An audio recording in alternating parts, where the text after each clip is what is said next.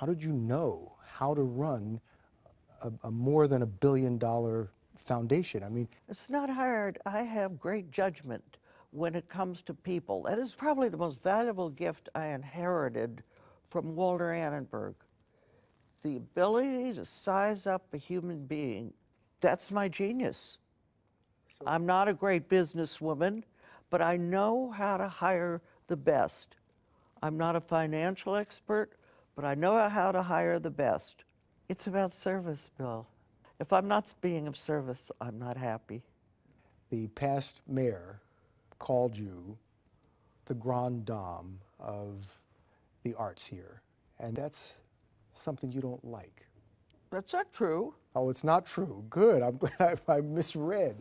You don't mind that? No, I'll take any compliment anyone wants to give me graciously. So, what do you think when you see that, that impact? I think I'm the luckiest person in the world to have had a part in this, to have been an agent for change, to be able to give this kind of a gift. It's a privilege. It makes me happy. This is my jewelry. This is my art.